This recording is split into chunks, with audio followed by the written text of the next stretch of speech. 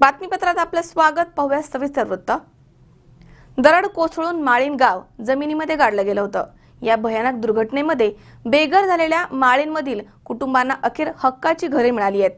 माननीय मुख्यमंत्री देवेंद्र फडणवीस आणि इतर मान्यवरांच्या हस्ते माळीनवासियांना पक्क्या घरांच्या चाव्या देण्यात आल्या आहेत. त्यावेळी भयानक दुर्घटनेमधनं सावरलेल्या माळीनवासियांच्या भावना अनावर झाल्या होत्या. तीस जुलै दोन हजार सतरा रोजी माळीन गावावरती दरड कोसळून संपूर्ण गाव गाडलं गेलं होतं. त्यामध्ये चव्वेचाळीस कुटुंबातील एकशे एक्कावन्न लोक मृत्युमुखी पडले होते. या दुर्घटनेमधनं बचावलेल्या ग्रामस्थांचे कायमस्वरूपी पुनर्वसन केलं जाईल असं शासनानं आश्वासन दिलं होतं.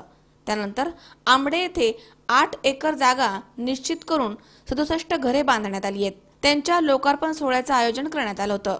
यावेळी माळीन दुर्घटनेमध्ये विशेष कामगिरी करणाऱ्या व्यक्तींचा आणि शासकीय अधिकाऱ्यांचा सत्कार करण्यात आला आहे यावेळी या कार्यक्रमाला मुख्यमंत्री देवेंद्र फडणवीस आदिवासी विकास मंत्री विष्णू सावरा ग्रामविकास मंत्री पंकजाताई मुंडे महसूल मंत्री चंद्रकांत दादा पाटील पालकमंत्री गिरीशजी बापट जलसंपदा मंत्री विजय शिवतारे राज्यमंत्री दिलीपजी कांबळे नामदार दिलीपराव वळसे पाटील आणि माळीन पुनर्वसनामध्ये मोलाचं योगदान असलेले खासदार शिवाजीदादा आढळराव पाटील तसेच शासनाचे अधिकारी पदाधिकारी मोठ्या संख्येने उपस्थित होते.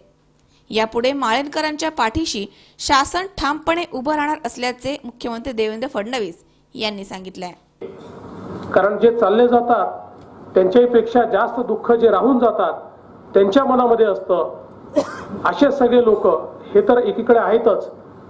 पण महत्वाचं याच्यात काही असेल तर शासन प्रशासन आणि समाज हा ज्यावेळी एकत्रित येतो आणि अशा दुखवट्याच्या स्थितीमध्ये ज्यावेळेस आपल्या समाजातल्या काही समाज बांधवांवर काही घटकांवर फार मोठी आपत्ती कोसळली आहे अशा आपत्तीच्या वेळी अत्यंत संवेदना ठेवून शासन असेल प्रशासन असेल आणि समाजातले विविध घटक असतील ही ज्यावेळी एकत्रित येऊन आपल्या सर्व बांधवांना मदत करतात.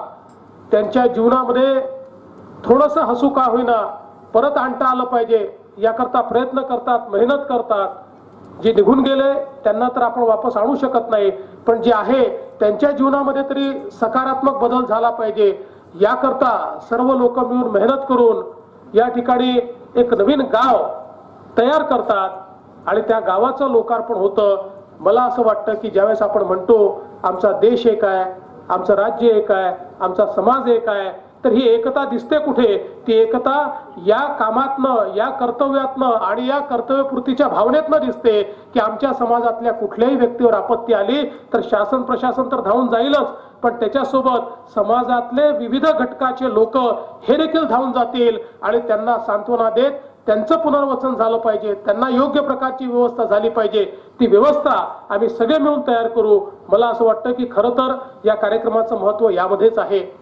आणि जी दुर्घटना झाली होती खरोखर इतकी भीषण की गावच्या गाव पूर्ण त्या ठिकाणी नष्ट झालं आणि एकशे एक्कावन्न लोक हे मृत्युमुखी पडले. अतिशय विदीर्ण अशा प्रकारची अवस्था होती. अनेक लोक या ठिकाणी काम करत होते विविध संस्था संघटना येऊन काम करत होत्या.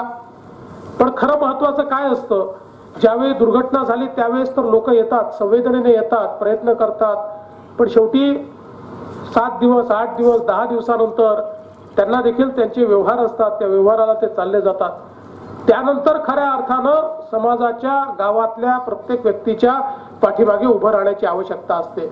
जोपर्यंत त्यांचं नीट पुनर्वसन होत नाही तोपर्यंत त्यांची पाठराखण करण्याची आवश्यकता असते. आणि मी विशेषत्वाने जिल्हाधिकारी सौरभ राव असतील तेव्हाचं शासन असेल आताचे आमचे मंत्री असतील मग नाथाभाऊ खडसे असतील किंवा चंद्रकांत दादा पाटील असतील आमच्या पंकजाते मुंडे असतील इथले तेव्हाचे आमचे विधानसभेचे अध्यक्ष आणि आमदार वळसे पाटील जी असतील किंवा आमचे खासदार शिवाजीराव आढळराव पाटील जी असतील या प्रत्येकाने अतिशय संवेदनेनं आपापल्या परीनं जे जे होईल ते केलंच पाहिजे. या भावनेतनं खऱ्या अर्थानं या ठिकाणी काम केलेलं आपण बघितलं. पुनर्वसनामध्ये महाराष्ट्रातच नव्हे तर संपूर्ण देशामध्ये एक आदर्श आणि एक चांगलं उदाहरण देशाला घालून देण्याचं प्रकल्पाचं काम आपल्या ह्या गावातून झालं. त्या सगळ्या संस्थांना मी मनापासून धन्यवाद देतो. मला आठवतं तीस जुलैला ज्या वेळेला ही घटना घडली त्यावेळेला लोकसभेचं अधिवेशन चालू होतं पावसाळी अधिवेशन. सकाळी घटना घडल्यानंतर तातडीनं देशाचे पंतप्रधान नरेंद्रजी मोदी यांनी देशाचे गृहमंत्री राजनाथ सिंग यांना सूचना दिली की स्थानिक खासदारांना घेऊन तुम्ही तातडीनं दिल्लीला पुण्याला जा. मला पण विचारलं कशी आहे काय गावाची काय परिस्थिती आम्ही सगळी माहिती त्यांना सांगितली. दिवसभराचं काम गृहमंत्र्यांचा त्या दिवशी कामाचा व्यवहार असल्यामुळं दुपारच्या नंतर आम्ही बी एस एफच्या फ्लाईटनं निघालो. पुण्याला मुक्कामी आलो. आणि दुसऱ्या दिवशी सात वाजता पुण्यावरून निघून तातडीनं माळेन या ठिकाणी लोकांना भेटण्यासाठी या दुर्घटनाग्रस्त स्थळाला भेटण्यासाठी आम्ही या ठिकाणी आलो. पंतप्रधानांनी निर्देश दिल्याप्रमाणे राजनाथ सिंगजीने सर्वात प्रथम या प्रकल्पाला जी मदत केली ती दोन लाख रुपयाची मदत पंतप्रधान सहायता निधीमधून जाहीर केली. आणि ती तातडीनं जिल्हाधिकारी कार्यालयामध्ये पोहोचण्याचं काम सर्वप्रथम मला वाटतं शासनाच्या वतीनं केंद्र शासनाच्या वतीनं झालं. आम्ही दिल्लीत असताना राजनाथ सिंग आणि आम्ही दोघांनी एनडीआरएफच्या संपूर्ण अधिकाऱ्यांना फोन करून तातडीनं आपल्याला काय इथं व्यवस्था कशी आहे एनडीआरएफला अजून काय मदत लागेल? या भागामध्ये दळणवळणाची व्यवस्था विस्कळीत झाली असेल म्हणून तातडीनं बी एस एन एलच्या चेअरमनला आम्ही फोन करून इथं व्यवस्था चांगली करून द्या. आणि आठ तासामध्ये ही सगळ्या व्यवस्था एनडीआरएफ असेल बी एस एन असेल या सगळ्या व्यवस्था चालू झाल्या. दुसऱ्या बाजूला मला सांगावं लागेल अनेक स्वयंसेवी संस्था जिल्ह्यामधून ही घटना घडल्यानंतर तातडीनं धावत घेतली आणि इथं आले. मग त्यामध्ये आमचे आर एस एच्या कार्यकर्ते असतील चिंचवड पिंपरीचे शिवसेना असतील भाजप असतील सगळ्या कार्यकर्त्या स्वयंसेवी संस्थांच्या जवळजवळ पंचवीस जिल्ह्यामधून पंचवीस अँब्युलन्स या ठिकाणी आल्या. पण एवढी गरज नसल्यामुळे बऱ्याचशा अँब्युलन्स रस्त्यावर गेल्या. सगळा हाहाकार वाजला होता सगळ्या देशाचं लक्ष ह्या घटनेकडे लागून राहिलं होतं. ज्यावेळेला राजनाथ सिंग यांनी मी इथं आलो त्यावेळेला पाहिलं परिस्थिती अतिशय गंभीर होती. अख्खं गावच्या गाव नेस्तनाबूत झालेलं. या गावाला यापूर्वी मी अनेक वेळा बैठकीत ब- भेटी दिलेल्या माझ्या खासदार निधीच्या माध्यमातून सुद्धा मी ती या ठिकाणी विकास कामं त्या गावामध्ये केली होती. पण कुठेतरी अशा प्रकारची व्यवस्था ही दुर्व्यवस्था झालेली पाहिल्यानंतर की खऱ्या अर्थानं आम्हाला याच्यातून मार्ग कसा निघेल? आणि मला आवर्जून सांगावं लागेल की या शासनानं मग केंद्रातलं एनडीए सरकार असेल किंवा भाजप शिवसेनेचं सध्याचं सरकार असेल या सरकारनं ह्या प्रकल्पाकडे जेव्हा जेव्हा प्रशासनाच्या माध्यमातून अडचणी सांगितल्या त्या त्यावेळेला सकारात्मक भूमिका प्रत्येक वेळेला घेण्यात आली. मला आठवते मी त्यावेळेला मी विष्णू सावरा साहेबांकडे गेलो. मुख्यमंत्री साहेब आपल्याकडे दोन वेळा आपल्या आपण तातडीनं खडसे साहेबांना आणि बापट साहेबांना सांगून जी काय मदत लागेल माळीडला. मध्यंतरी जी आरचा घोळ होता. आदिवासी विभागाच्या खात्यातला जी आर असल्यामुळे तो नंतर दुरुस्त करण्यात आला त्याला महिना दीड महिना गेला. मदत कार्य काम थोड्या वेळ कामासाठी थांबली होती. दरम्यानच्या काळात तिथं शेतकऱ्यांची जमिनी गेल्या पिकं गेली घरं गेली. मग ही पिकं कर्जासाठी पीक कर्ज माफ व्हावी त्यामुळे मुख्यमंत्री साहेब मी आपल्याकडे स्वतः आलो. आपण त्याप्रमाणे जसे निर्देश दिले आणि जवळजवळ चौदा पंधरा लक्ष रुपयाची शेतकऱ्यांची कर्ज त्यावेळेला माफ झाली. एकंदरीत शासनानं गतिमान शासन कसं असावं? आपला निर्णय प्रत्येक आपल्या मंत्रिमंडळातल्या प्रत्येक मंत्र्यानं इतकं सकारात्मक भूमिका घेऊन अशा प्रकारचा प्रकल्प उभा केला आणि हा प्रकल्प उभा करण्यामध्ये एक्झिक्यूट करण्यामध्ये खऱ्या अर्थानं मला सगळ्यांच्या वतीनं आभार मानावं लागेल की या जिल्ह्याचे जिल्हाधिकारी सन्माननीय सौरव रावसाहेब असतील आणि त्यांचे सगळे सहकारी असतील. एक चांगलं काम झालेलं आहे. पण दुसऱ्या बाजूला मला आवर्जून सांगावं वाटेल की अशा प्रकारची स्थळं अशा जशा माळीन जशी अवस्था आहे होती तशाच प्रकारची अवस्था ह्या आमच्या जुन्नर आंबेगाव खेड तालुक्यातल्या आदिवासी भागांमध्ये आहे. जुन्नर तालुक्यामध्ये तळमाची म्हणून गाव आहे. तळमाचीवाडीमध्ये एस आयची लोक सुद्धा जाऊन आलेली आहेत.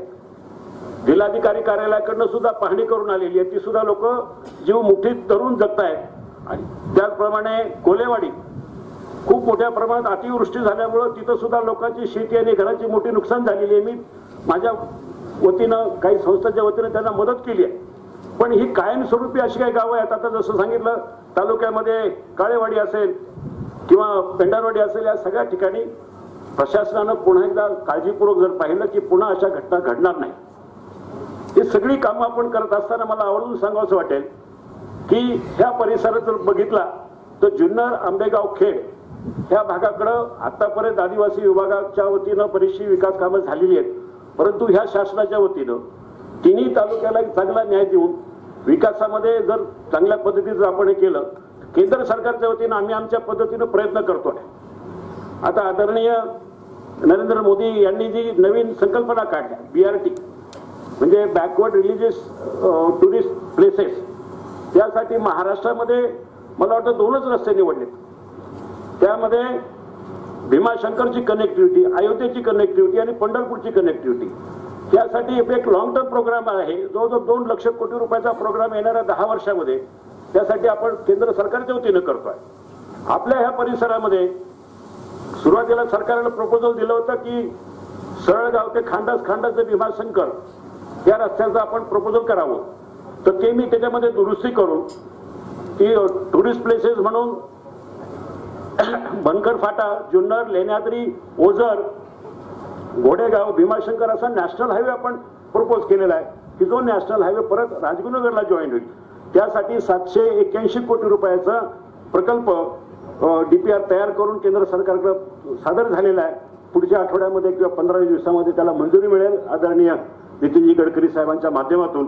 तर ते जर काम झालं तर नॅशनल हायवे झाला तर या परिसरामध्ये आदिवासी भागामध्ये चांगल्या प्रकारच्या सु सुधारणा भविष्य काळामध्ये होतील इथल्या महत्त्वाच्या योजना म्हणजे आता आपण सगळं माहिती आहे की वेस्टर्न घाट प्रकल्पामध्ये आपलं ही सगळी गावं असल्यामुळं त्याच्यासाठी मी गेल्या पंधरा दिवसापूर्वी लोकसभेमध्ये प्रश्न उपस्थित केला होता की एस आय ही जी बाउंड्री आहे त्या बाउंड्री कमी करून जास्त कमीत कमी लोकांच्या जागा झाल्या पाहिजे कमीत कमी लोकांना निर्बंध आल्या पाहिजे. अशा प्रकारचं प्रपोजल केंद्र सरकारने आहे त्यांनी शब्द दिलेला आहे की आदिवासी भागातल्या लोकांच्या जमिनी कमी जातील किंवा त्यांना त्रास कमी होईल अशा प्रकारचा प्रयत्न केंद्र सरकारच्या माध्यमातून होत आहे ह्या सगळ्या गोष्टीसाठी आपलं आपल्या सरकारचं आणि विशेष करून महाराष्ट्राच्या मुख्यमंत्र्यांचं चांगल्या पद्धतीचं लक्ष आहे. आणि म्हणून अशा प्रकारचे प्रकल्प अशा प्रकारचं पुनर्वसन यशस्वीरित्या झालं. त्याबद्दल मी प्रशासनाचं मंत्रिमंडळाचं मनापासून आभार व्यक्त करून थांबतो. धन्यवाद. जय हिंद जय महाराष्ट्र. धन्यवाद सर. यानंतर महाराष्ट्र राज्याचे मुख्यमंत्री नामदार फडणवीस साहेब. पडतो पण उन्हाळ्यामध्ये प्यायला पाणी नसतं पण या परिसरातला माझा आदिवासी बांधव कधीही आत्महत्येच्या दिशेने गेलेला नाही आणि या सगळ्या प्रसंगाचा सामना करायचं काम या परिसरातला आदिवासी बांधव करतो ती शाश्वत गोष्ट आहे. आणि म्हणून मधल्या काळामध्ये काय कारण झालं मला माहिती नाही पण पडकईची योजना ही राज्यस्तरीय बजेटमध्ये होती. ती मधल्या काळामध्ये जिल्हास्तरीय बजेटमध्ये आपण हस्तांतरित त्या ठिकाणी केलेली आहे. जिल्हा स्तरामध्ये पैसे कमी येतात. बापट साहेबांनाच पुरत नाही तिकडे. त्यामुळं तुम्ही आम्हाला याच्यामध्ये माझी आपल्याला आग्रहाची विनंती आहे ही योजना आपण परत एकदा ही राज्यस्तरीय योजनेमध्ये त्या ठिकाणी समाविष्ट करा तसं मी आपल्याला निवेदन या ठिकाणी दिलेलं आहे. आणि शेवटचा मुद्दा म्हणजे आमचा हा जो परिसर आहे भीमाशंकराचं बारा ज्योतिर्लिंगापैकी एक देवस्थान आहे. सुधीर भाऊ इथं दोनदा स्वतः आले होते. चंद्रकांत दादांनी सुद्धा आशीर्वाद घेतलेले आहेत. आणि मग आज एकशे ऐंशी कोटी रुपयाचा आराखडा तयार करून आम्ही राज्य सरकारकडे पाठवलेला आहे. तो एकशे ऐंशी कोटीचा आराखडा हाय पॉवर कमिटीच्या समोर मंजूर होऊन आपली त्याला मान्यता मिळाली तर या परिसरातल्या आदिवासींना स्थानिक पातळीवर या ठिकाणी रोजगार उपलब्ध करून देण्याची कल्पना त्याच्या पाठीमागं आहे. देवाचा तर आधार शेवटी धार्मिक गोष्टीचा किती महत्त्व आहे हल्ली हे आपल्याला सगळ्यांना माहिती आहे. पण या परिसरामध्ये आपण या ठिकाणी तरुण माणसांना रोजगार उपलब्ध करून देण्याच्या दृष्टिकोनातून मदत करावी अशी माझी आपल्याला विनंती आहे.